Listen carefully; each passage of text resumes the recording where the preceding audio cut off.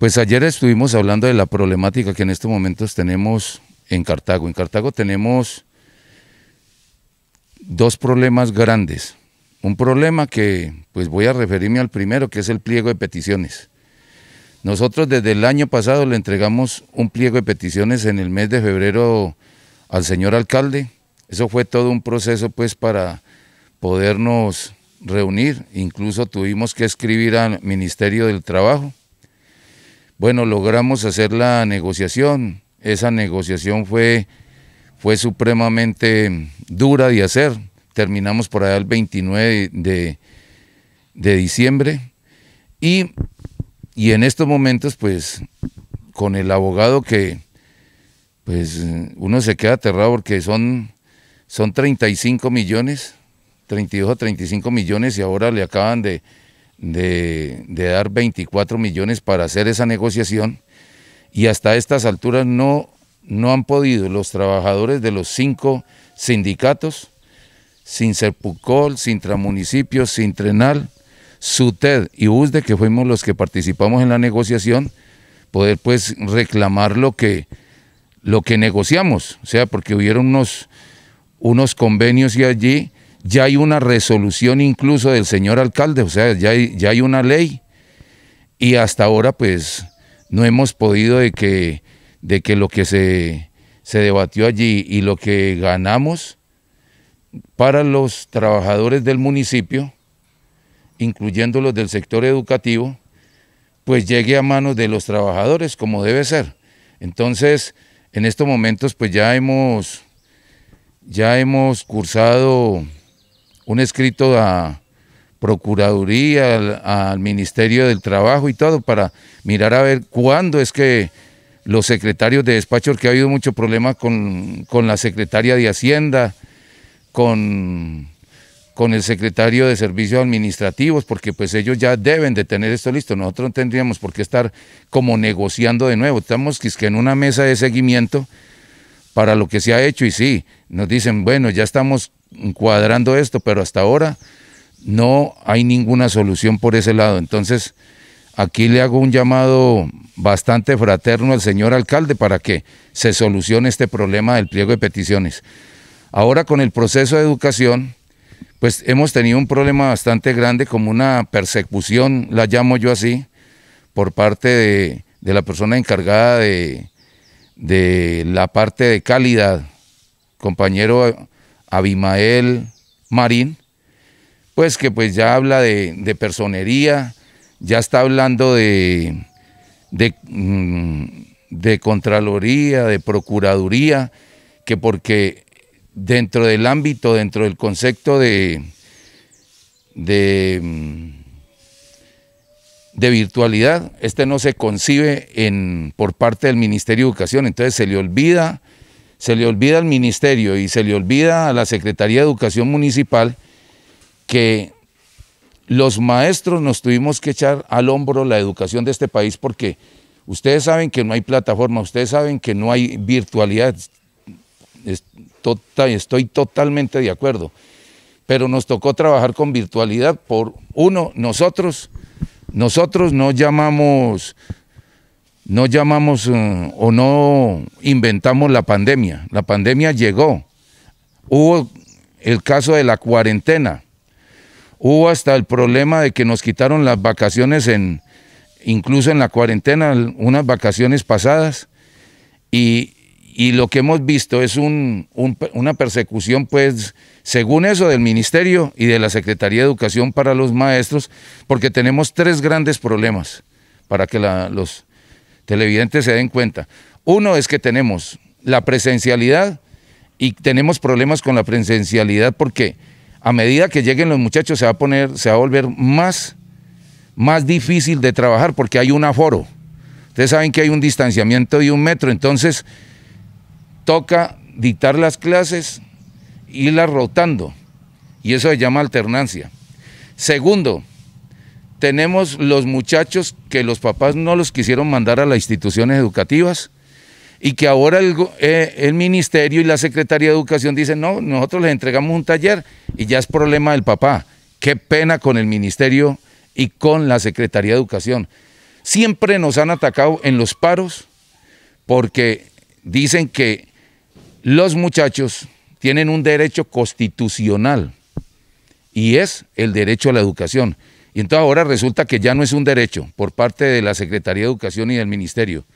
Esos muchachos que se quedaron en la casa tienen todo el derecho a que nosotros los acompañemos. Y de una vez les digo, los padres de familia que quieran, con mucho gusto, nosotros, nosotros los acompañamos para que coloquen su tutela y exijan el derecho constitucional de la educación, porque ellos también tienen el mismo derecho que tienen los otros. Ahora, el señor Abismael dice que, que, hay una mano de quejas en la, en, en la personería de aquí de Cartago, que le han llegado muchas quejas. Yo no sé, quejas de quiénes. Si antes los padres de familia que están en la casa buscan que los maestros los apoyemos para poder hacer los talleres, que les expliquemos cómo hacerlo. Esto no es entregando y lea, porque hay padres que no saben ni siquiera leer. Entonces, esa es la ayuda que nosotros como maestros, y en eso se lo decimos al alcalde y se lo decimos al ministerio y a la Secretaría de Educación, nosotros le hemos dicho a, los maestros, hay que responder por ellos, porque se viene un problema gravísimo. Si nosotros ahora no le colaboramos a esos, a esos padres de familia, muchos terminarán sacando sus muchachos y el próximo año va a haber una cantidad de maestros que sobran, sabiendo que los muchachos están allí. Entonces, ese servicio hay que prestarlo. ¿Cómo se presta ese servicio? En donde hay instituciones que tienen dos y tres jornadas.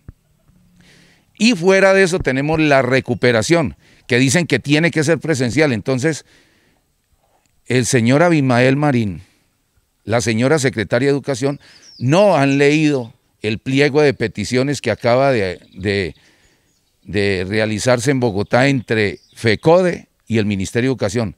¿En qué se quedó? En que la recuperación del tiempo que nosotros debíamos de hacerla virtual, porque nosotros estábamos virtual, no estábamos presencial, y estábamos trabajando unos determinados contenidos flexibles y todo, porque era que el trabajo que estaba haciendo era con los padres de familia, no con los maestros, y no, el intermediario allí eran los padres de familia, tienen el grave problema de que si nosotros trabajáramos normalmente, pues los padres no van a poder prestarle la atención al muchacho porque la mayoría de los padres trabajan, otros tienen que esperar a que lleguen para que presten su celular o lleguen los vecinos o lleguen los familiares. Entonces, ese es el otro problema que nosotros tenemos. Entonces, el señor Abismael Marín, que es el encargado de calidad, dice que no se puede dar virtualidad. Entonces yo no sé cómo vamos a arreglar el problema porque tenemos la mayoría de los colegios con dos y tres jornadas.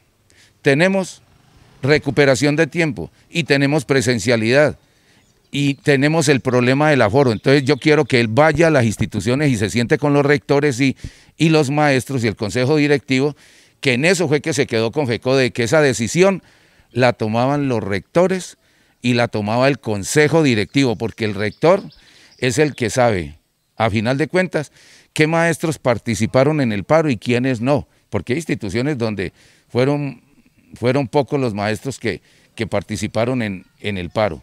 Entonces, yo no le veo problema a eso de, sentarse y de cumplir los, los convenios, lo mismo que, estamos pidiendo con el pliego de peticiones de nosotros. O sea, el decreto 160 del 2014 exige que lo que se que lo que se convino en la mesa de trabajo y está firmado y fuera de eso está en papel membreteado del ministerio, no está ni siquiera en papel membreteado de FECODE, sino del Ministerio de Educación, entonces se responda y se resuelva el problema, porque allí está que los que al final tenían que tomar la decisión eran los consejos directivos, porque todas las instituciones tienen unas determinadas particularidades.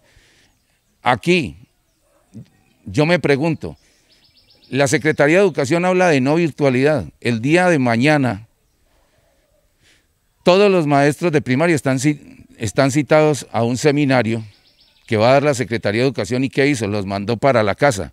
¿Para qué? Para que a través del Wi-Fi, de la virtualidad de cada docente en la casa, se pudieran ingresar, porque ustedes saben que hace poco se hizo un contrato de casi 500 millones de pesos aquí de conectividad y resulta que la conectividad no sirve absolutamente para nada. ya está súper demostrado en las instituciones. Se pegan dos, tres profesores o se reúnen allí a hacer el trabajo a través de, del Internet e inmediatamente se cae el Internet en las instituciones educativas. Y lo otro son los protocolos de bioseguridad. La mayoría de las instituciones educativas se quedó de contratar por parte del Ministerio y de la Secretaría de Educación unas personas que iban a ayudar a, estar limpiando, a, tener una sanidad, porque el contagio ahora va a ser más fuerte y los niños no están vacunados, apenas están vacunando los muchachos de 20 años. Entonces, yo no sé qué va a pasar. Nosotros rezamos para que no pase nada porque al final de cuentas, los más perjudicados en un momento determinado con todo esto que se está haciendo somos los maestros y los rectores, que somos los responsables en un salón de clase de recibir los muchachos. En este momento los que están aplicando alcohol, los que están haciendo limpieza y muchas veces trapeando y barriendo son los mismos docentes en la institución educativa, sabiendo que eso no debía ser así porque hay una responsabilidad penal y civil, jurídicamente hablando. Entonces, esos son los problemas que están aquejando en estos momentos. Los tapabocas que llegaron a cada rector le tocó ya entregarle a cada muchacho dos tapabocas porque los tapabocas no sirven absolutamente para nada.